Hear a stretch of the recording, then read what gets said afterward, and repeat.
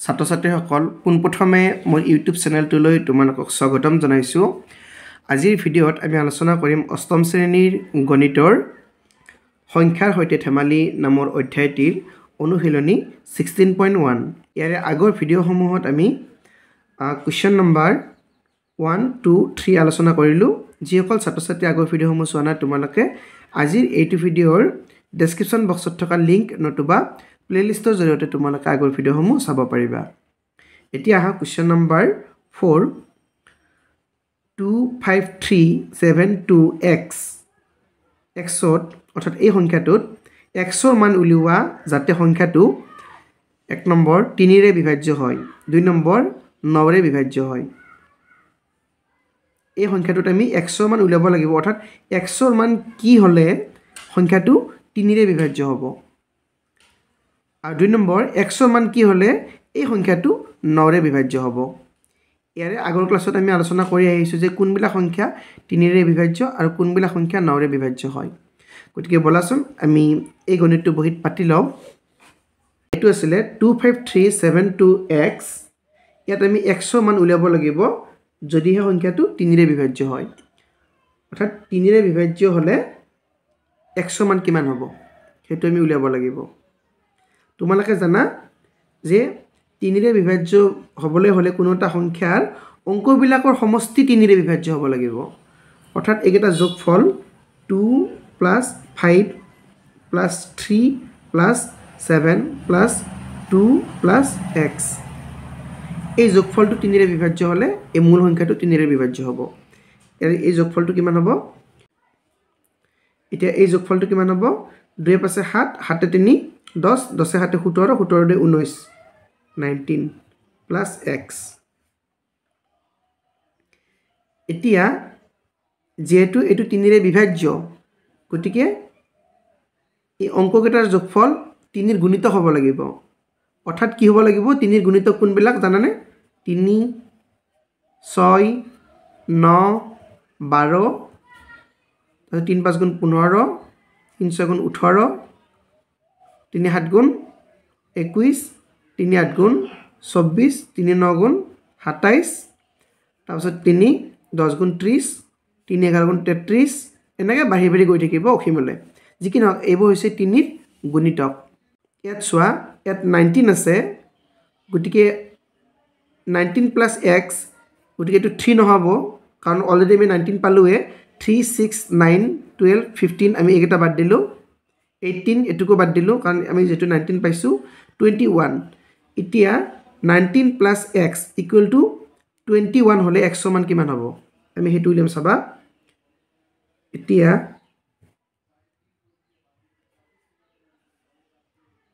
nineteen plus x equal to twenty one হ'লে x equal to কিমান হ'ব? X এক্সৰ জেগাত কি বহালে মানে ঊনৈছৰ লগত কি যোগ কৰিলে একৈছ হ'ব? দুই যোগ কৰিব লাগিব হয়নে? তেতিয়াহে ঊনৈছৰ দুই একৈছ হ'ব x equal to two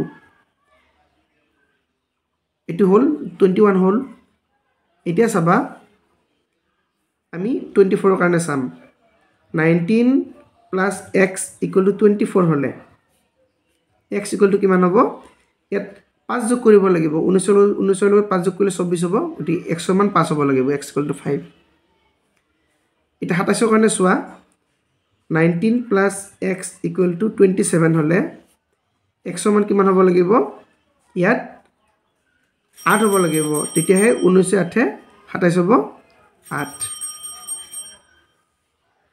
next thirty চোৱা nineteen plus x equal to যদি থাৰ্টি হয় হ'লে এক্সৰ মান কিমান হ'ব লাগিব? ইয়াত এঘাৰ যোগ কৰিব লাগিব ঊনৈছৰ লগত এঘাৰ যোগ কৰিলে ত্ৰিছ হ'ব। এঘাৰ। কিন্তু ইয়াত এক্সৰ এক্সৰ ঠাইত এঘাৰ লিখিব পাৰিম জানো? ইয়াত এক্স মানে কি? এক্সৰ ঠাইত আমি অংকহে লিখিব পাৰিম। অংক দহটা। Zero' one two three four five six seven eight nine. এই জিৰ'ৰ পৰা নাইনলৈ জিৰ'ৰ পৰা নাইনৰ মাজৰ ইয়াৰে যিকোনো এটা অংকহে ইয়াতে হ'ব। গতিকে টু হ'ব পাৰে ফাইভ হ'ব পাৰে এইট এইট হ'ব পাৰে কিন্তু এলেভেন হ'ব নোৱাৰে। কাৰণ ইয়াত যদি আমি এলেভেন দি দিওঁ তেতিয়াহ'লে এইটো শুদ্ধ নহ'ব। কাৰণ ইয়াত দুই দুই এটা অংক পাঁচ এটা অংক তিনি এটা অংক সাত অংক ইয়াতে দুই অংক গতিকে এক্সটো এটা নিশ্চয় অংকই। কিন্তু ইয়াত দুটা হ'ব নোৱাৰে। ইয়াত যেনেকৈ এক এক দুটা অংক আছে গতিকে ইয়াতে দুটা অংক এক্স মানে দুটা অংক হ'ব নোৱাৰে। জিৰ' পৰা জিৰ' পৰা নাইনলৈ এটাহে হ'ব পাৰিব। গতিকে এক্স ইকুৱেল টু এলেভেন হ'ব নোৱাৰে। গতিকে আমি যে nineteen plus x equal equal to thirty লিখিছোঁ আৰু আমি নিলিখোঁ। Nineteen plus x equal to thirty three আমি তাৰ বাবে নকৰোঁ কাৰণ এঘাৰ লিখোঁতে আমি দুটা অংক পাই গৈছোঁ। এক্স ইকুৱেল টু এঘাৰ হ'ব নোৱাৰে। এক্স ইকুৱেল টু এলেভেন হ'ব নোৱাৰে। কাৰণ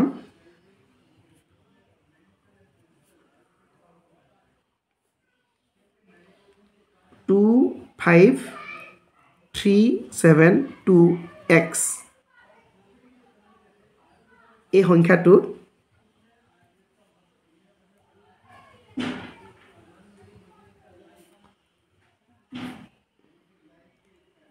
এক্স হ'ল জিৰ' আৰু নাইনৰ মাজৰ এটা চিহ্ন। জিৰ' আৰু নাইনৰ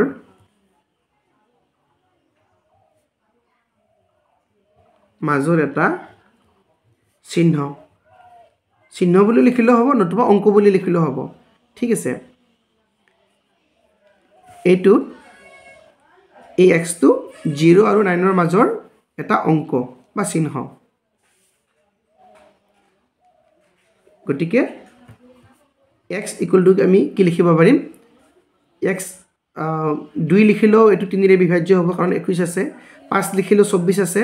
তিনিৰে বিভাজ্য হ'ব। আঠ লিখিলেও তিনিৰে বিভাজ্য হ'ব কাৰণ সাতাইছ আছে। গতিকে এক্সৰ মান দুয়ো হ'ব পাৰে পাঁচো হ'ব পাৰে নতুবা আঠো হ'ব পাৰে। এইটো হ'ব আনচাৰ। এতিয়া দুই নম্বৰটো চাবা।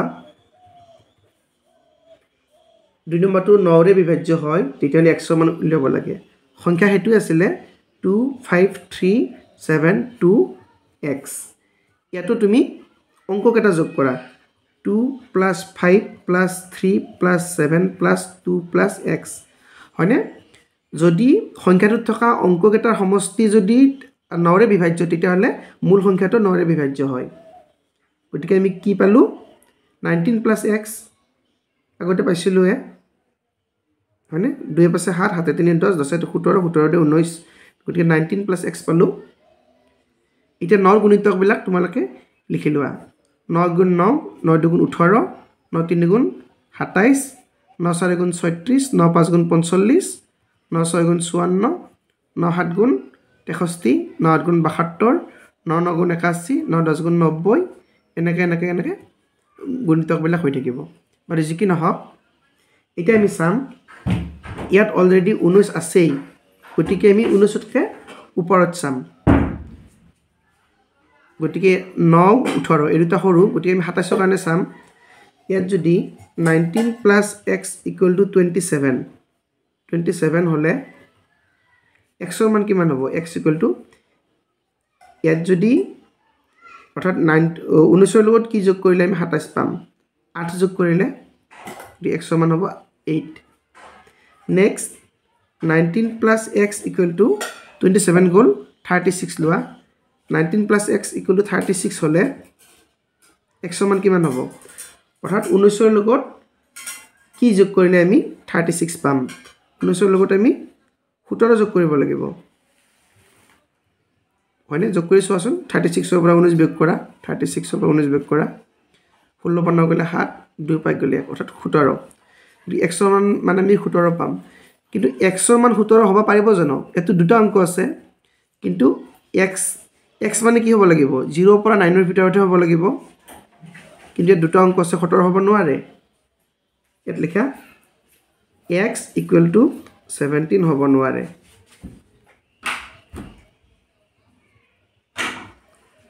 কাৰণ আগৰটো নিচিনা কাৰণটো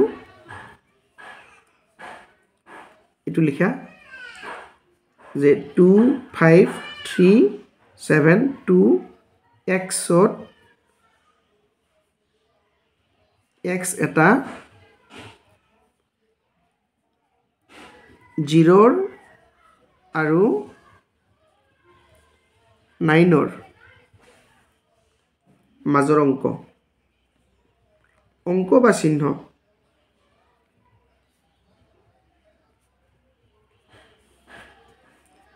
এতেকে এক্স ইকুৱেল টু এইটো ছেভেণ্টিন হ'ব নোৱাৰে গতিকে এইটো হ'ব লাগিব এইট হ'ব লাগিব x equal two eight.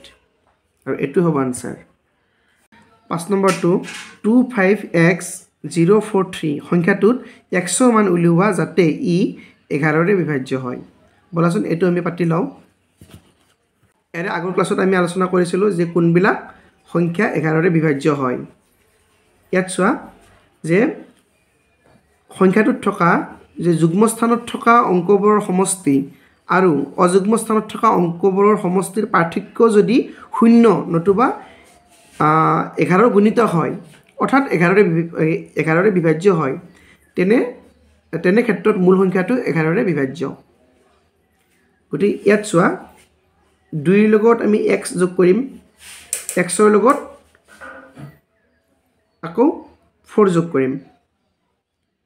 Next ফাইভৰ লগত জিৰ' যোগ কৰিম জিৰ'ৰ লগত আকৌ থ্ৰী যোগ কৰিম গতিকে এইটো কি হ'ব? Two plus x, two plus x plus four plus four, sorry plus four, minus five plus এইটো জিৰ' প্লাছ থ্ৰী। ইয়াৰে আমি পাৰ্থক্যটো চাম। মানে অযুগ্ম স্থানত থকা অংকবোৰৰ সমষ্টি আৰু যুগ্ম স্থানত থকা অংকবোৰৰ সমষ্টিৰ যিটো পাৰ্থক্য আমি সেইটো লিখিছোঁ। সেইটো আমি কিমান পাম চাবা? এইটো হ'ব এক্স প্লাছ দুই চাৰি ছয় ছিক্স মাইনাছ পাঁচে তিনি আঠ। গতিকে কি পাম? এক্স মাইনাছ টু এঘাৰৰে বিভাজ্য হ'ব লাগিলে কি হ'ব লাগিব? এই পাৰ্থক্যটো অৰ্থাৎ অৰ্থাৎ এই বিয়োগফলটো হয় শূন্য হ'ব লাগিব নহ নহ'লে এঘাৰ গুণিত হ'ব লাগিব। ইয়াত লিখিম এঘাৰৰে বিভাজ্য হ'ব লাগিলে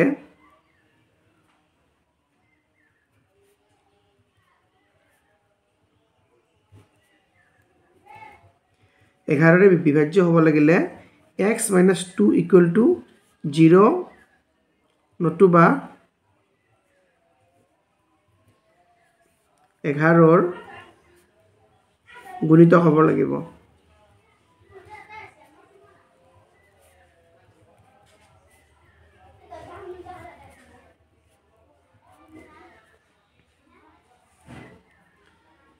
এতিয়া চোৱা এঘাৰ গুণিত কোনবিলাক? এঘাৰ বাইছ বা তেত্ৰিছ এইবিলাক। তাৰপিছত এতিয়া আমি লিখিম x minus two equal to zero' হ'লে। জিৰ' হ'লে এক্স এক্স মান কিমান হ'ব লাগিব? তেতিয়াহ'লে টু হ'ব লাগিব হয়নে? তেতিয়া two minus two equal zero' হ'ব এক্স ইকুৱেল টু টু তাৰপিছত x minus two equal to যদি আমি এঘাৰ যদি দিওঁ এঘাৰ হ'লে এক্স ইকুৱেল টু কি হ'ব? ইয়াত এক্স মান কি হ'লে এঘাৰ হ'ব? নিশ্চয় তেৰ হ'ব লাগিব। তেৰৰ পৰা দুই বেগ কৰিলে আমি এঘাৰ পাম গতিকে থাৰ্টিন কিন্তু এই সংখ্যাটোত এক্সৰ মানে আমি থাৰ্টিন লিখিব পাৰিম জানো? এক্সটো এক্সটো এটা অংকহে গতিকে অংকবিলাক জিৰ'ৰ পৰা কি থাকে? নাইনৰ মাজত থাকে। অৰ্থাৎ zero' one two three four five six seven eight nine এনেকৈ থাকে। গতিকে থাৰ্টিন হ'ব নোৱাৰে এক্স ইকুৱেল টু